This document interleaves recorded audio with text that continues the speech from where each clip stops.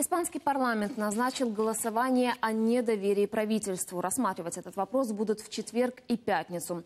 Все из-за крупнейшего коррупционного скандала, в котором фигурирует Народная партия премьер-министра. На прошлой неделе бывшего казначея политсилы признали виновным в финансовых махинациях в пользу партии.